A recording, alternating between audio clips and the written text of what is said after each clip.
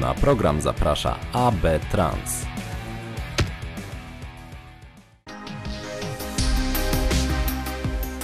Sponsorem programu jest firma Nata.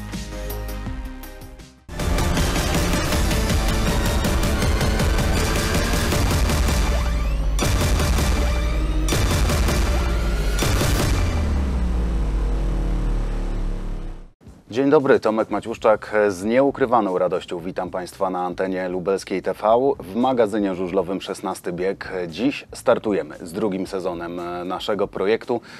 Poprzedni rok, e, doskonale Państwo wiecie jaki był, ruszyliśmy na początku lutego, mniej więcej o tej porze musieliśmy przerwać nagrania ze względu na rozpoczynającą się pandemię. Wróciliśmy do nich e, pod koniec maja. Dziś startujemy w marcu i mam nadzieję, że tych e, przeszkód będzie jak najmniej. A pierwszym naszym gościem w tym roku, gościem moim i Państwa jest Piotr Więckowski, wiceprezes e, Motoru Lublin. Witam dobry. serdecznie. Dziękuję Piotrze za przyjęcie zaproszenia. No właśnie, zaczęliśmy od tej pandemii. Trzy tygodnie niemal do startu e, PGE Ekstraligi. No i na ten moment przyjmujemy, że ten e, początek, ta inauguracja odbędzie się zgodnie z planem. Przygotowujemy się do tego, żeby być gotowym na 3 kwietnia i pełne przygotowania idą w tym kierunku, żeby, żeby ten sezon e, wkroczyć zgodnie z harmonogramem. Mówiłem o tych e, zmianach planów, jakie mieliśmy w przypadku programu. E, Was to również dotknęło i także w tym sezonie przygotowania do tegorocznych startów też trzeba było na, na bieżąco zmieniać. No ale drużyna jest już po pierwszych jazdach na torze, to chyba na ten moment jest najważniejsze.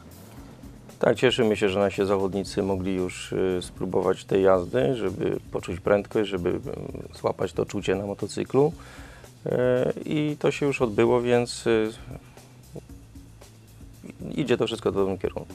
Wiadomo, że te pierwsze jazdy na torze po zimowej przerwie no nie są miarodajne, trudno na tej podstawie wyciągać jakieś e, wnioski, ale jakie wieści e, płyną ze słoweńskiego Krszko po tych e, pierwszych jazdach? Miarodajne jest wtedy, gdy stają zawodnicy pod taśmą i wtedy widzimy, jak się dopasowują do toru, do, do okoliczności, jak mają przygotowany sprzęt. Natomiast tutaj chodziło głównie o to, żeby poczuć troszeczkę prędkość, poczuć to czucie, które zawodnikowi jest potrzebne, żeby się wjechali w sezon. Nie odbywały się żadne wyścigi, więc nie można byłoby tego dokładnie porównać. Ale to są zawodnicy najlepsi na świecie. Każdy trzyma gaz i tutaj nie ma co, e, co porównywać. Po prostu mieli frajdę z jazdy i, tego, i to już w nich zostanie. Nie zdążył dotrzeć do nas e, Maciek Kuciapa, trener drużyny, bo miał być e, tutaj według pierwotnych e, planów dzisiaj z nami, no ale na pewno już zdążyliście porozmawiać, jak, jak on oceniał, jak to wyglądało z jego perspektywy. No Maciek jest zadowolony z treningów i mówi, że wszystko idzie w jak najlepszym rytmem, także trzeba się cieszyć z tego, że, że udało się to przeprowadzić. Co dalej, jeśli chodzi o jazdy na torze, bo były plany związane z Gdańskiem, z Tarnowem, e, była mowa o sparingach, czy to jest na ten moment aktualne? No żyjemy w sytuacji, gdzie mamy epidemię i żyjemy w takiej sytuacji, że w tym roku ta zima jednak troszeczkę nie, nie odpuszcza, więc te czynniki trochę warunkują to, czy, e, czy się odbędzie tych sparingów e, więcej, mniej, czy w ogóle się odbędą. E, Jak wygląda sytuacja, jeśli chodzi o tor w Lublinie? E, Jakie prace już zostały wykonane, co jeszcze jest do zrobienia, no i kiedy? No my jesteśmy w tej możemy części Polski, na że zawsze tutaj jest chłodniej jak gdzieś indziej. Ta zima dłużej się nie poddaje. E, W międzyczasie pracownicy Mosiru założyli bandę pneumatyczną. Tor był uklepany na jesień. Teraz chcielibyśmy go rozorać, ale mamy obawę, żeby, żeby nie było jakiegoś opadu, który by spowodował e, nasiąknięcie tego toru, więc chwilowo czekamy na dobre prognozy, które będą mówiły o tym, że żadnych opadów nie będzie w najbliższej czasie i podniesienie się temperatury, bo, bo też potrzebujemy, żeby ta temperatura spowodowała parowanie e, wilgoci, która w tym torze zalega. No i te czynniki nas wstrzymują w tym, żeby kolejne ruchy wykonać.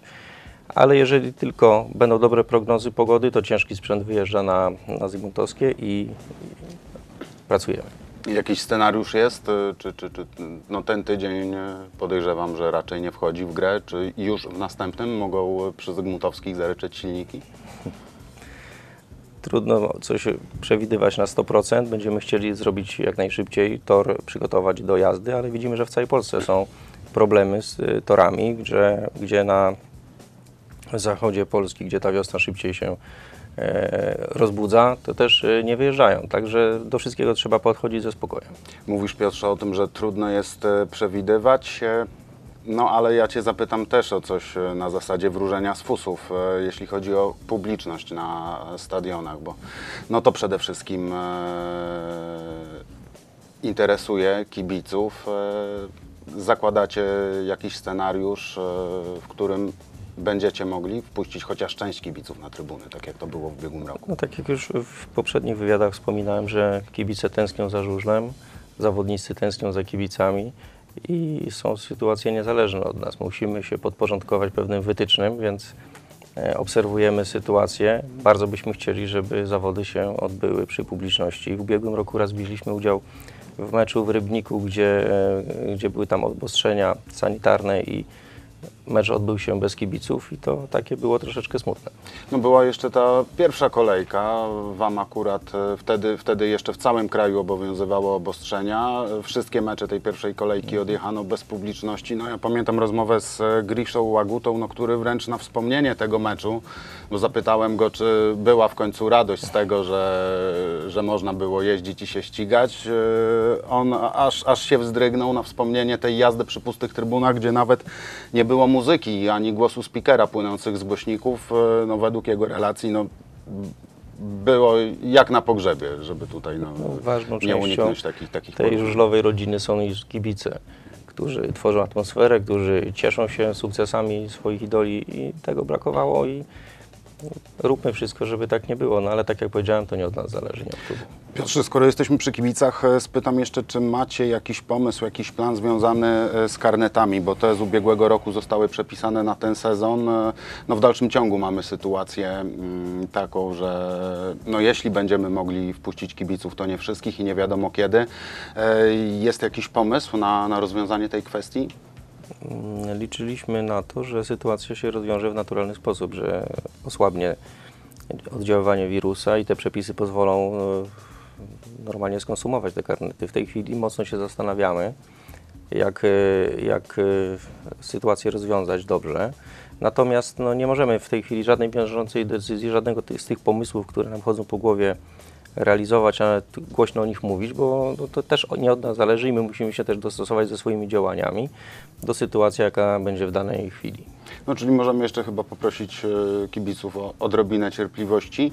A ja chciałem wrócić jeszcze do tematu przygotowań, bo mówimy o tym, co, co, co, co było dosłownie wczoraj, przedwczoraj, e, o tym, co będzie w najbliższych dniach, ale tak naprawdę przygotowania rozpoczęliście no, wzorem ubiegłego roku e, wyjazdem zagranicznym. Nie wszystkie kluby się na to decydowały, także, także ze względu na pandemię. Wy postawiliście na, na, na ten właśnie wariant. Chcieliśmy też pojeździć na nartach, ale z racji tego, co się dzieje na świecie, ten pomysł był troszeczkę mniej bezpieczny.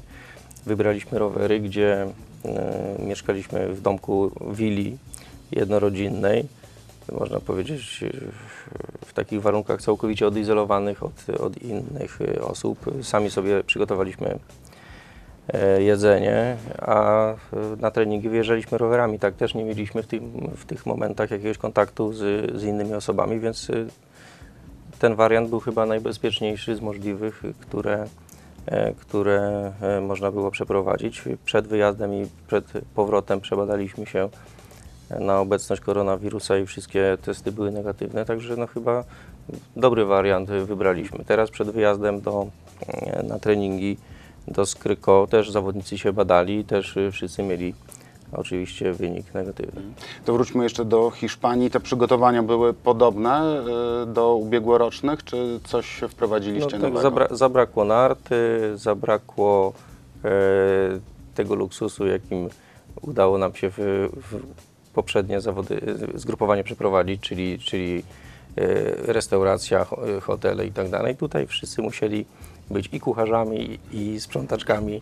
Także, ale to też fajnie podziałało i zjednoczyło grupę i i No właśnie, to zbliżyło chyba wszystkich okazja siebie. była też Tak, do- To, to, to jest do- dobry do- pomysł, do- nie wiem, czy nawet jak się da Popracowania nad pandemia nie atmosferą. skończy, nie należałoby w ten sposób organizować.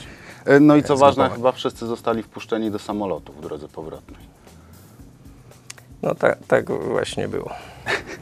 E, No właśnie, mówiliśmy o atmosferze, e, o tej okazji do, do popracowania nad zgraniem drużyny. No to też ważne, bo e, są nowe twarze. No, ten temat jest właściwie sprzed pół roku, bo w listopadzie został domknięty tegoroczny skład. Ale jak, jak, jak oceniasz teraz z perspektywy tych kilku miesięcy to, co udało się zbudować? No, czterech kolegów nowych w drużynie mamy. Y, Ci koledzy już myślę, że zintegrowali się z pozostałymi zawodnikami naszymi. I, i z tego co nam się wydaje, to będzie mocniejszy skład niż w ubiegłym sezonie i, i pozwoli nam to walczyć o, o cele, które sobie chcemy postawić. No, Dominik Kubera, bo, bo to jest to, to nazwisko, które no, w tym mogłoby się wydawać e, martwym e, zimowym okresie dla kibiców żużla, no, zelektryzowało e, wielu fanów, a to za sprawą tych informacji, że no, nie udało się tam dogadać z Unią Leszno w kwestii ekwiwalentu. Dominik będzie mógł zostać zgłoszony do składu dopiero w kolejnym oknie transferowym, wystąpi od czwartej kolejki. Wiedzieliście o tym, e, że taki scenariusz jest możliwy, domykając skład? Początkowo myśleliśmy, że tak nie będzie, że będzie jechał od początku sezonu. Sytuacja mm, potoczyła się tak, że, że okazuje się, że będzie jechał od czwartej kolejki i akceptujemy tą sytuację i przygotowujemy się do sezonu. Macie tutaj jakiś żal do działaczy Unii? Próbowaliście jakoś się dogadać w tej kwestii, porozumieć? Żalu nie mamy.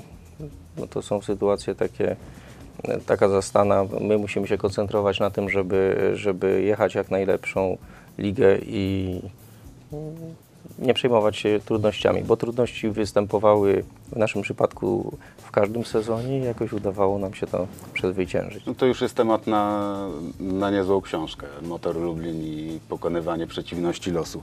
Jaki jest plan na zastąpienie Dominika Kubery? Bo dołączył do składu Mark Karion, młody e, Rosjanin, polecony przez Grigorija Łagutę. No i y, mamy juniorów. Dawid Lampart, Mateusz Cierniak. No, znów e, okrzykiwani no, jedną z najlepszych par juniorskich Ekstraligi. E, Jak tutaj planujecie tę kwestię rozwiązać? Czy, No, czy, czy wiadomo, młody, że- nieopierzony Rosjanin będzie dostawał szansę, czy jednak e, będą próby za, zastępowania go juniora? No jeżeli chodzi o Marka, to, e, to on, potrzebny nam też jest e, zawodnik rezerwowy w razie e, jakiejś sytuacji takiej, gdzie, e, gdzie będzie nam brakować ko- jednego zawodnika. Jeżeli chodzi o Marka, no to na tym wyjeździe, który w tej chwili się odbywał, mam sygnały, że, e, że jedzie zadziornie, jedzie, jedzie agresywnie. To jest dobry sygnał. To, że Mark ma duże doświadczenie, bo tam w swoim rodzimym klubie we Władywostoku już nie jechał jako junior, tylko jako podstawowy zawodnik.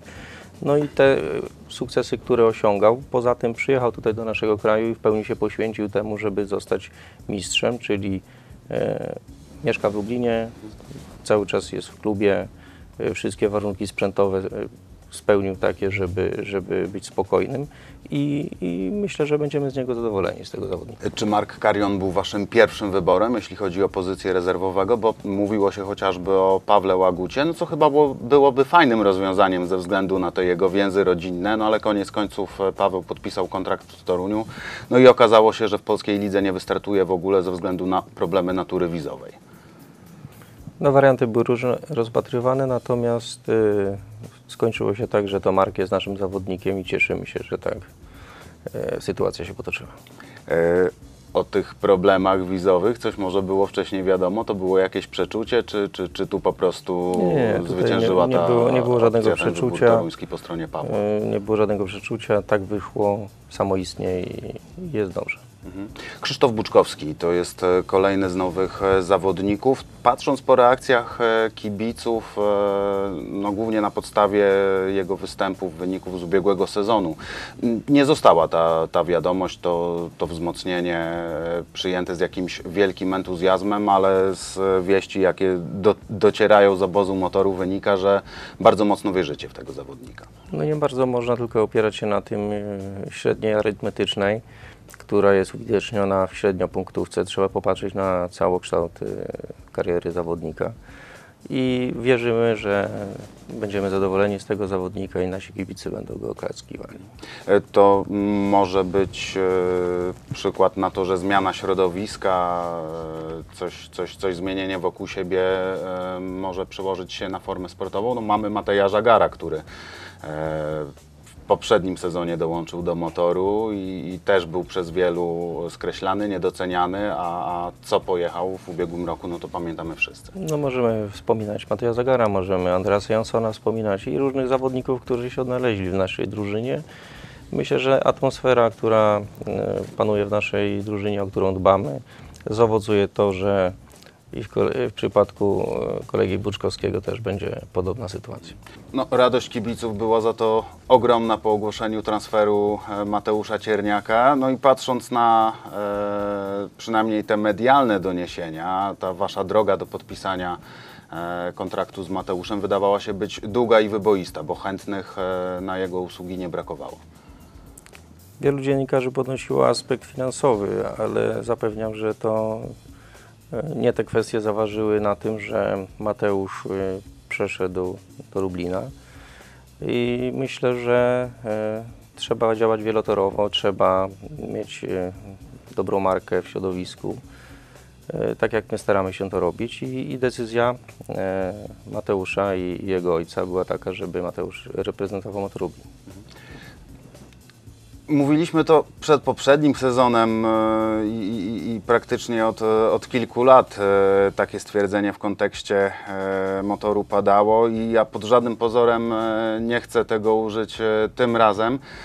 No ale na papierze motor ma mocną e, parę juniorów. Jak, jak zapatrujecie się na to, no bo już i w poprzednim sezonie e, para Wiktorów, Lampard Trofimow była wręcz nazywana najmocniejszą e, młodzieżową e, parą w lidze, no i te ubiegłoroczne e, rozgrywki trochę to jednak e, zweryfikowały. Jakie są widoki na ten sezon, no przede wszystkim jeśli chodzi o, o formę i dyspozycję Wiktora Lamparta? Do wyniku sportowego zawsze trzeba podchodzić z ogromną pokorą, czego mogliśmy być świadkami w ubiegłym sezonie. Wierzymy w naszych juniorów i yy, juniorzy są po pierwszych treningach na to, że trener był z nich zadowolony, także wszystko idzie w tym kierunku. Mam nadzieję, że spełnią oczekiwania w nich pokładane. Jeśli chodzi o Wiktora, udało się znaleźć przyczyny tej słabszej ubiegłorocznej e, dyspozycji, wyciągnąć z nich wnioski? Ja osobiście uważam, że mm, przyczynił się też y, ta sytuacja pandemiczna przyczyniła się. y, Z tego powodu, że juniorzy nie mieli tego momentu na rozjeżdżenie się. Ograniczona była liczba startów y, w zawodach młodzieżowych, gdzie, y, gdzie ci zawodnicy potrzebują dużo więcej jazdy niż zawodnicy doświadczeni, renomowani. I to akurat źle podziałało na naszych juniorów. My w ubiegłych sezonach też staraliśmy się, żeby mieli jak, jak najwięcej startów w zawodach młodzieżowych i to ich nakręcało i dawało im skrzydeł. Tego zabrakło w ubiegłym sezonie moim zdaniem. To jeszcze powiedz Piotrze, y, jak wygląda sytuacja, jeśli chodzi o pozostałych juniorów, bo y, liczebnie ta formacja młodzieżowa motoru y, no, jest dość, dość, dość spora. E, natomiast e, no, jakie, jakie są widoki na przyszłość, jeśli chodzi o tych e, młodych chłopaków znajdujących się w kadrze? No i chociażby w tym sezonie, jak, jak widzicie mm, szanse na to, aby, aby mieli jak najwięcej okazji do, do jazdy, do startów i do szlifowania umiejętności? My jako klub podejmujemy każde wyzwanie, jeżeli mamy tylko możliwość gdzieś wystartowania. Jedziemy każde zawody, także tutaj w ubiegłym sezonie ta liczba była w pierwszej części sezonu mocno ograniczona, później staraliśmy się to nadrobić. Jeździliśmy wszystkie imprezy, jakie były możliwe do odjechania. W tej grupie mamy zawodników już i e, którzy zaczynali od żużla 250, 500, już zaczynają przechodzić klasę wyżej, bo dorastają do tego wieku, gdzie im e, pozwala wiek na to, żeby uzyskali uprawnienia. I to jest ciężka praca mozolna, na której wyniki trzeba czekać ze spokojem, ale my wierzymy, że to będzie dobry ruch ze strony klubu i w najbliższym czasie powinny już być e, widoczne efekty tej ciężkiej pracy. No to jeszcze e, wróćmy do drużyny jako całości. E, no i niejako na koniec e, chciałem Cię zapytać o cele na ten sezon 2021.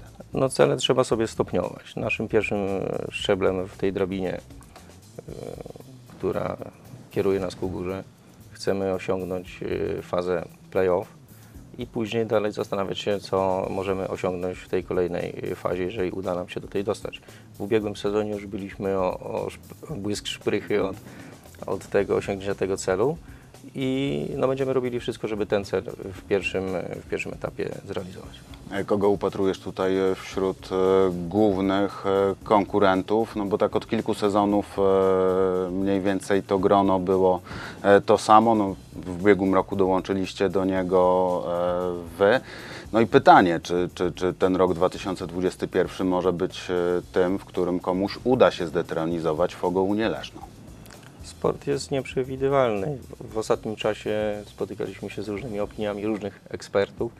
Mnie najbardziej się podoba opinia Darka Stenki i w tą, w tą opinię trzeba się wpatrywać i wierzyć, że kiedyś e, w tym kierunku pójdziemy. Czy to będzie ten sezon, czy, czy nie, zobaczymy, czas pokaże.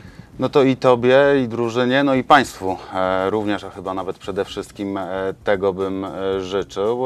Piotrze, zanim Ci podziękuję za wizytę w studiu, jeszcze, jeszcze jeden ważny punkt naszej rozmowy, bo Szanowni Państwo, jako kibice żużlowi zapewne, zapewne słyszeliście o zbiórce e, na rzecz Niny Słupskiej, e, niespełna dwuletniej dziewczynki z Lublina, chorej na SMA, czyli rdzeniowy zanik e, mięśni. Środowisko żużlowe również angażuje się w pomoc Ninie. To jest prywatnie bratanica cenionego, znanego, lubianego w środowisku lubelskiego sędziego żużlowego Pawła Słupskiego. Piotrze, i coś mamy na licytację na rzecz Niny. Przyniosłem dzisiaj na licytację koszulkę z podpisami zawodników, jak również inne gadżety, kalendarz klubowy, bomberkę, czapeczkę.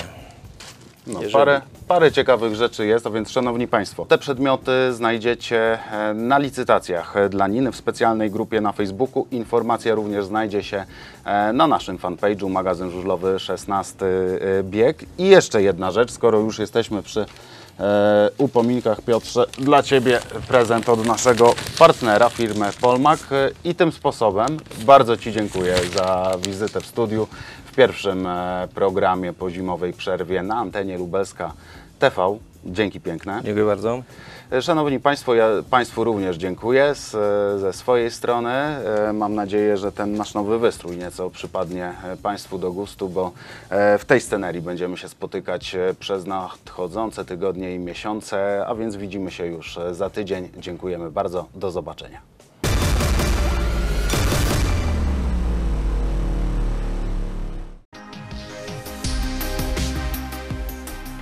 Sponsorem programu była firma Nata. Na program zaprosiła firma AB Trans.